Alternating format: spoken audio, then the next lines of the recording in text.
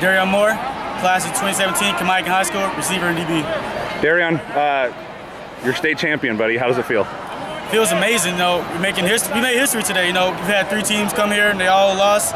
You know, it was nice to you know change the, those the streak they had of losing, you know, and make some better out of it. Probably not what you guys envisioned. Uh, No. offense kind of I don't want to say struggle because it was a good defensive effort from from uh, O'Dea. Let's talk about your touchdown though. They, they tied the game up. Tell me about the play. Kind of go through it. Uh, what you saw, that type of thing. Well, right before the play, uh, Coach Biggs and uh, my receiver coach, Coach Thomas, they came up to me and said, "We need a big play out of you."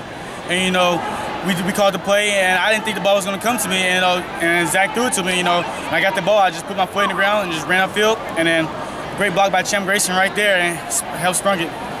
Were you on the field for the final play of the game? No, I was not.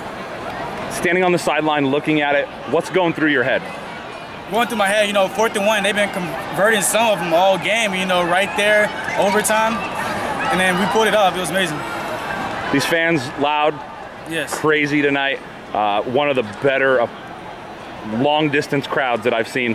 Uh, at the after it's over though, you guys run along the sideline and you, and you kind of high five everybody. What's that about? Kind of tell me about the relationship. You know, it's just our tradition. You know, every game we come out to the sidelines. You know, everybody's right, right before the game ends. Everybody's on the, uh, on the rails waiting for you. You know, put their hands out. You know, Best DB in the league. Best DB in the league. family, friends, everybody's waiting for you. You know, it's just just amazing. Best DB in the Uh, state. Best DB in the state. Let's let's talk about this guy for a little bit since he's coming in here. Tell me about him. He, he had a pretty nice game tonight. Oh yeah, Benson's he's gonna be, he's our junior. You know, he's the guy.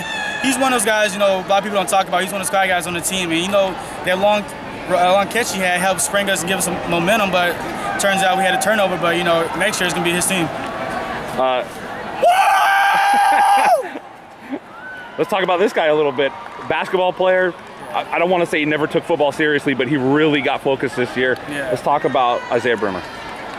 Isaiah, he's one of those guys. You know, first three years he really, you know, he was ba- basically a basketball player. You know, this year he saw that what he can do and what his height and his size. You know, and he just took off. He, he was a whole different player this year, and, and I hope he makes the next level and does better things. All right, Darreon, uh, I'll let you go. Go uh, celebrate, have some fun with your teammates, and uh, congratulations. Best DB in the state. uh, another best DB in the state from Zach Borish as he runs by, but uh, congratulations. Thank you.